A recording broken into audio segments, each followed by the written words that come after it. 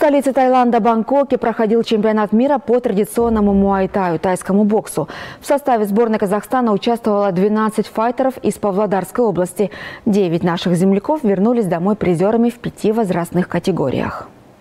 Представители Муайтая в Иртыше подготовили заслуженный тренер Республики Казахстан Марат Смогулов, мастера спорта международного класса Дамир Фатхудинов и Женевес Адвакасов. Бронзовыми призерами чемпионата мира стали Асанали Аразалин и Нуржан Рахметалла. Серебряные медали завоевали Фархат Ахметов, Раимбек Рахметов, Исламбек Нурпиисов, Данил Зазулин и Давид Панаян. А Нурасыл Маулетханов и Диат Люленов стали чемпионами мира. Мурат Белмажит и это Сакпарат.